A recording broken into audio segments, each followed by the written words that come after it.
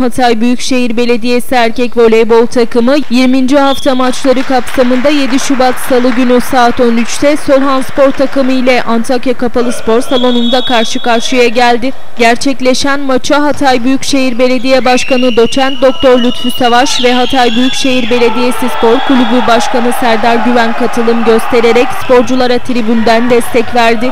Karşılaşmada kıyasıya mücadele eden ve rakibine fazla sayı şansı tanımayan Hatay Büyükşehir Belediyesi erkek voleybol takımı ilk seti 25-15 önde kapattı. İkinci sete üst düzey performanslarıyla zirve mücadelesinden ödün vermeyen Hataylı voleybolcular seti 25-19 önde tamamlayarak 2-0 öne geçti. Seyircilerin tezahüratlarıyla maça daha sıkı tutunan Hatay Büyükşehir Belediyesi erkek voleybol takımı son seti 25-23 maçı da 3-0 kazanarak taraftarına büyük sevinç yaşattı.